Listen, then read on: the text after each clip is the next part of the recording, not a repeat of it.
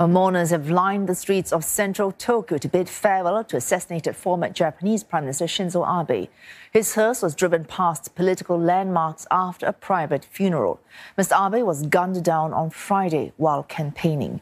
Well, the crime has rattled Japan and prompted an outpouring of international condemnation and grief. Mitch Ishida tells us more. Japanese bid their final farewell to the country's longest serving prime minister.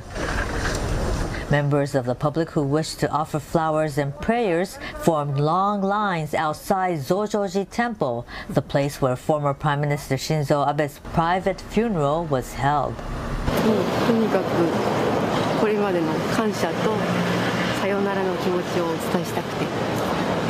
This man said he had once met Mr. Abe in person. This man from Myanmar said he was shocked when he heard the news. もう総上寺ってミャンミャンマー祭りというのをやるんですね毎年秋役人があの主催で、まあ、そういう時にあの安倍さんのことはいろいろ聞いていて As Mr. Abe's hearse left for the cremation site, thousands lined along the roads to wave their goodbye to the late leader. As part of the journey, Mr. Abe made his last visits to the government compound where he spent many years. Mr. Abe's political career spanned nearly three decades. He was first elected as a lawmaker in 1993. He was appointed Chief Cabinet Secretary under Prime Minister Junichiro Koizumi. He rose to become Japan's youngest prime minister since World War II, but his first term was cut short by health issues. He made a stunning political comeback in 2012, winning the premiership for the second time before stepping down in 2020 again due to health issues.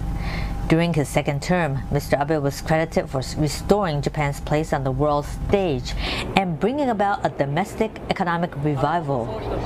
When the hearse came to the Prime Minister's office, where Mr. Abe spent a total of eight years and eight months, he was greeted by Prime Minister Fumio Kishida and his staff. Mr. Abe died from gunshot wounds last Friday in the western city of Nara during a campaign speech to support his party's candidate.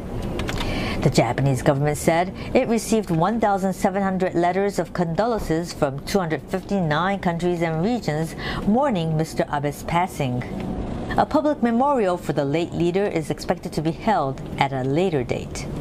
The Kishida cabinet has decided to present Mr. Shinzo Abe the highest order. It's the collar of the Supreme Order of the Chrysanthemum. It's in honor of his long contribution to Japan, and he will be only the fourth Japanese to receive this order. Michio Ishida, CNA, Tokyo. Singapore Prime Minister Lee Hsien Loong has paid his respects and signed the condolence book for former Japanese Prime Minister Shinzo Abe.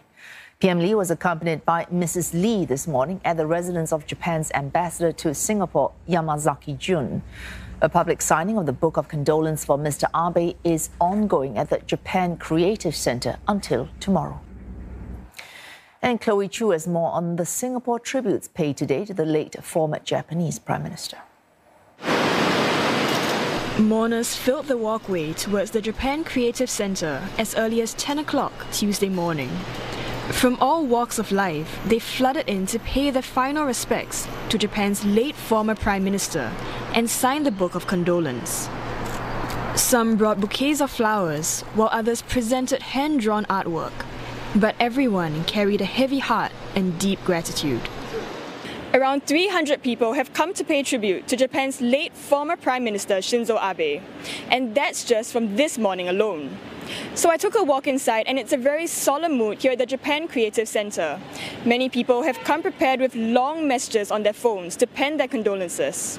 And while most messages were in Japanese, some were from Singaporeans thanking Mr. Abe for all he's done and for making Japan such a wonderful place for tourists.